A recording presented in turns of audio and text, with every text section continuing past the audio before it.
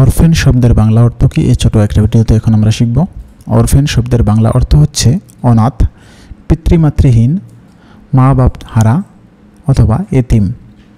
দুটো example sentence he has been an orphan since he was five he has been an orphan since he was five পাঁচ বৎসর বয়স থেকেই তিনি এতিম বা মা বাপ হারা।